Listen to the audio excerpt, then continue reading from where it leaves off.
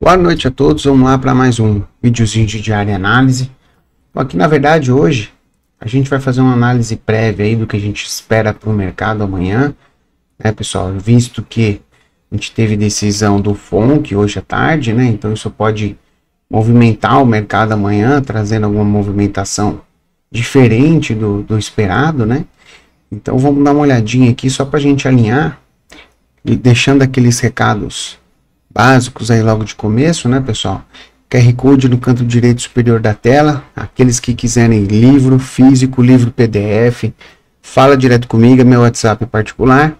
Aqueles que quiserem participar de sala, mentoria também, pode falar comigo ali direto pelo QR Code. E eu mando para vocês ali tudo como que a gente faz, tá?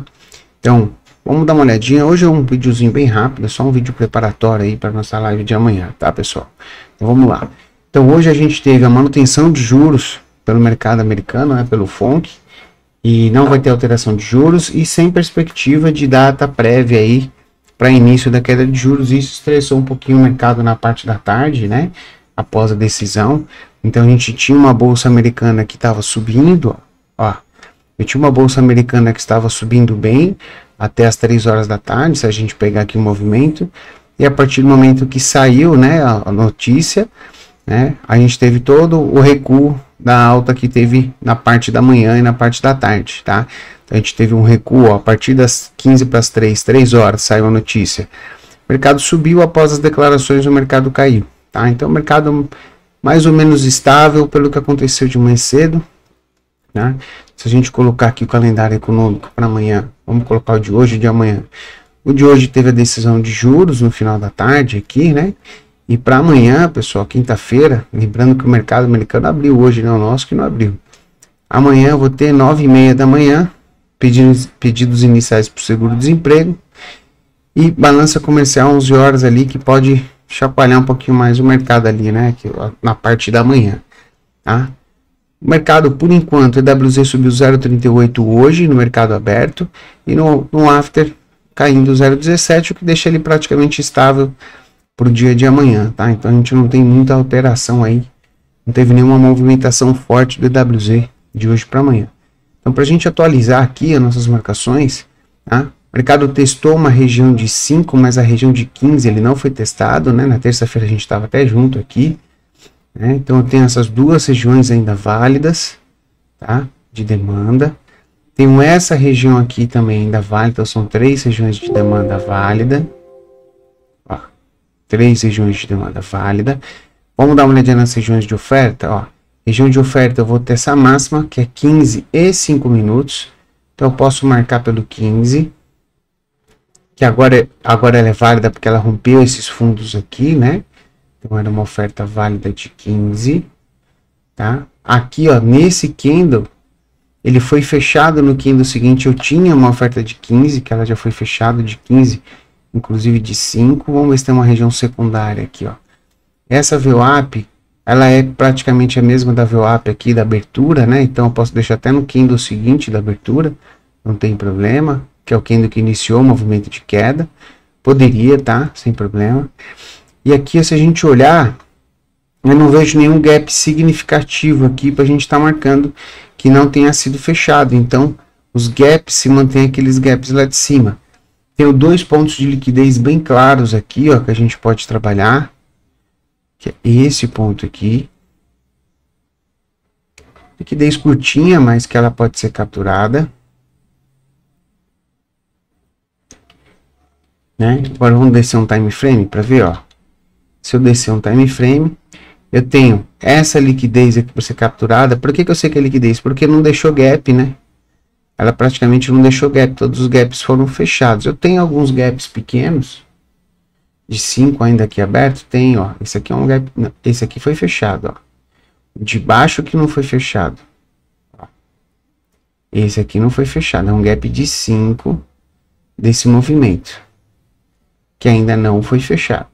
Tá? Então seria o único gap aí que não seria fechado, a gente pode ter uma captura de liquidez aí do movimento, Lembrando que o movimento está fazendo em formato de um canal de alta, por enquanto ainda não foi rompido, né? Ele teve um rompimento falso aqui, ó. Aqui atrás ele rompeu, jogou para dentro do canal novamente, tá? Então, a gente tem que aguardar para ver agora se ele vai confirmar esse rompimento, que é o que parece, ou se ele vai jogar para dentro da lateralidade, né? Se a gente fosse marcar todas as regiões de 5 aqui, ó, até tem outros, outras regiões aqui, mas vai ficar muita região marcada. Pode marcar, sem problema. Então essas seriam as regiões que a gente vai procurar trabalhar amanhã dentro do nosso mercado aqui da abertura das nove meio-dia. Regiões que a gente vai trabalhar no índice seriam essas, tá, pessoal? Então, tirar um zoom. Lembrando que o mercado ele estava se movimentando em canal de alta. Ele fez um rompimento e jogou para dentro do canal de novo, né? E agora está trabalhando na parte superior do canal. Dá para fazer um ajuste? Dá. A gente consegue fazer um ajuste aqui, ó. Tá? Porque pode ver que o canal, se quiser, ó, tá? Onde ele tocou várias vezes aqui, ó. Equivale com esse topo, com esses fundos, com esses topos, mas eu gosto de deixar onde estava ali no ponto, tá? Ele não é obrigado aí no canal toda vez que ele faz movimento de alta. Ele tá segurando bem no canal ali, no movimento de queda agora, né? A gente pode até dar uma ajustadinha aqui. Vamos nem ajustar. Tá bom do jeito que tá. Tá? E vamos aguardar amanhã para ver se ele vem capturar essa liquidez na abertura ou se ele vem testar uma VWAP dos vendidos. A princípio, o mercado levemente alto, ele pode vir testar essa VWAP dos vendidos aí, que é uma VWAP antiga, tá, pessoal? Ele pode ir lá buscar. Vamos dar uma olhadinha no dólar, para ver o dólar como ficou. Olha o dólar movimento de terça-feira, né? Movimento que foi quase no alvo final lá, né? 5226, né? Seria o alvo final do dólar. Nesse movimento, nesse rompimento, ele não deixou nenhuma região de 15 para a gente interessante, só aqui embaixo. Deixa eu estender aqui. Deixa eu dar um golinho d'água aqui. Ó, só aqui embaixo ele deixou uma região de 15 mais interessante. Se a gente trouxer para os 5 minutos, tá? Vamos tirar só o zoom aqui do 15, ó. E vamos entender que ele tem uma lateralidade aqui que ele está rompendo agora após fazer um spring, ó fez um spring, saiu com força e está querendo romper aqui essa região. A gente tem outras regiões já demarcadas, podemos botar de alvo. Ele está fazendo um movimento parabólico, né? Um movimento cansado aí. Vamos ver se ele vai conseguir ter força para acelerar ainda mais esse movimento. Pode ter? Pode. Ah, sem problema. Ó. Então, já vamos estender as regiões. E todas elas ainda são válidas. Tá aí, ó. Todas elas são válidas, tá? E assim a gente tem as regiões para trabalhar amanhã. Uma região muito próxima ali que ele pode abrir e fazer uma captura de liquidez desse topo. Depois fazer um movimento corretivo. Uma região de fundo onde ele pode vir testar para continuar o movimento de alta. Tenho regiões de 5 minutos intermediárias no dólar? Tenho. Vamos marcar aqui no dólar. Regiões do dia anterior, elas são muito importantes principalmente quando eu tenho uma LTA uma captura de liquidez, ó. Eu tenho uma LTA aqui, ó, e montou uma captura de liquidez. Então, montou uma liquidez a ser capturada, né? Vou botar aqui 4. Então, tem uma liquidez a ser capturada no dólar. Podemos trazer isso daqui para cá. Eu tenho uma região do 5 aqui,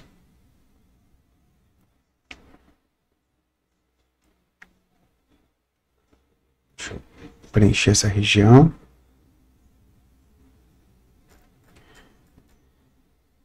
Opa, é verde, verde. Tá? Vamos ver aqui acima se tem mais uma região. Eu tenho uma micro região aqui, tá? Tem uma micro região ali, a gente pode marcar. No meio dessa, dessa liquidez a ser capturada, né? Então, vou tomar cuidado. Mas eu tenho uma região aqui, ó. Tá? Que ele pode vir testar depois. Outras regiões aqui já no final do dia já não interessa tanto. Porque ele já está pedindo um movimento corretivo aqui para dar continuidade na alta. Então vamos aguardar para ver como que ele vai fazer esse movimento corretivo, tá?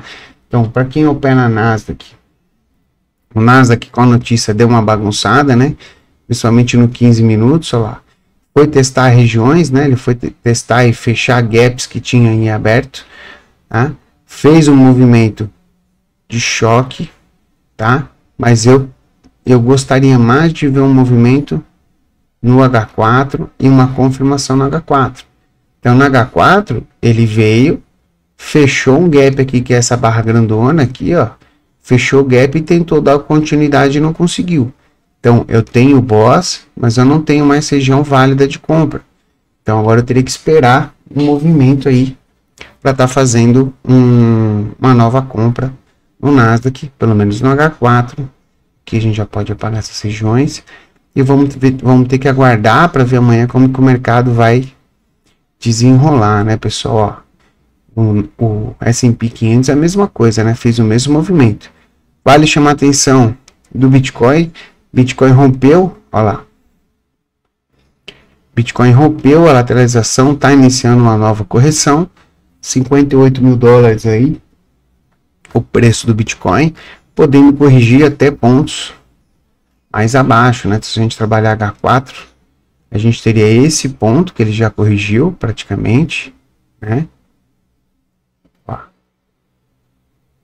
E teria um início de movimento aqui, ó, bem tranquilinho para ele vir corrigir, ó.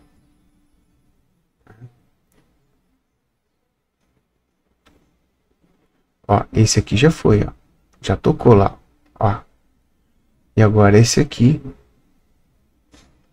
Deixa eu dar um zoom aqui para ficar melhor. Seria o próximo alvo aí se ele continuar esse movimento de queda, rompendo essa região aqui que fez o, o, o que segurou o preço aí do, do Bitcoin, né? Os juros cedeu um pouquinho, né? Cedeu um pouquinho após a notícia. Né? Isso pode animar um pouquinho o mercado aí no overnight. Vamos ver no overnight como que o mercado vai se comportar. Beleza, pessoal? Hoje é um vídeo curtinho, não tem o diário do que foi feito hoje, porque ele foi feito na terça-feira, né? Então, normalmente eu faço no final do dia. Mas eu vou começar a gravar de novo esses diários para vocês, principalmente em dias anteriores aí às nossas lives, tá ok, pessoal? Um abraço a todos, espero que vocês tenham gostado. Vídeo curtinho aí para ver enquanto janta, né? Se preparando para amanhã. Um abraço a todos, bom, bons trades amanhã. Vejo vocês na live. Até mais, valeu!